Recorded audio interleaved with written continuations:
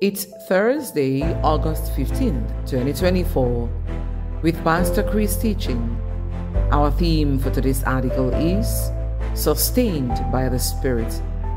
Our opening scripture is taken from Romans 8, verse 11. It says, But if the Spirit of Him that raised up Jesus from the dead dwell in you, he that raised up Christ from the dead shall also quicken your mortal bodies by his Spirit that dwelleth in you. Hallelujah. By the Spirit, the Apostle Paul explained something profound in Ephesians 5 verse 30. Pastor begins, or he said, For we are members of his body, of his flesh, and of his bones.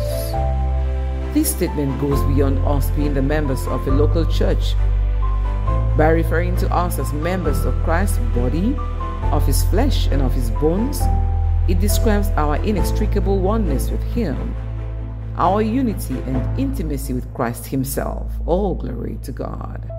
But did you notice that Paul didn't say, For we are members of his body, of his flesh, his bones, and of his blood? You need to understand that Christ's body doesn't have any blood anymore. Jesus gave his blood as a sacrificial offering during his crucifixion.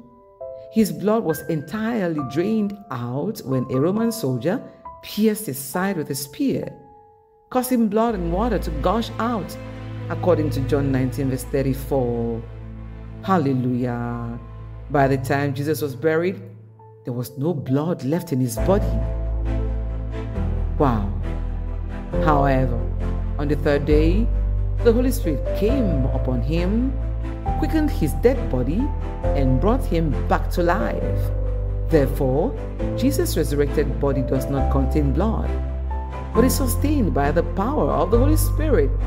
And as he is, so are we in this world, as we find in 1 John 4, verse 17. Oh, thank you, Lord our God. Praise God. Before you were born again, Pastor goes on to say, your body lived by blood. But now that the Holy Spirit lives in you, even though there's blood in your body, your sustenance is by the Spirit. No wonder Paul asserts in Romans 8, verse 11 But if the Spirit of Him that raised up Jesus from the dead dwell in you, he that raised up Christ from the dead shall also quicken your mortal bodies by his Spirit that dwelleth in you. Selah. Often you should declare, I don't live by blood, I live by the Holy Ghost.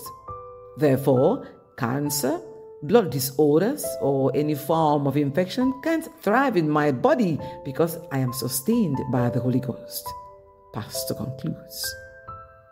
Oh, dear Lord, thank you for your word to us today and for Pastor Chris. Wow. All right, Saints, let's take a prayer now, meaning every word from the bottom of our hearts. Please say with me, Dear Father, I thank you for the Holy Spirit who lives in me and gives life to every fiber of my being, keeping me in divine health. Every part of my body is vitalized and strengthened by your Spirit. From the crown of my head to the soles of my feet,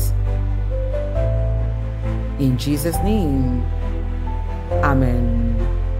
All right, for further study, please read Romans 8, verse 11, then 1 Corinthians 6, 19 to 20 and I'd like us to read from the New King James Version.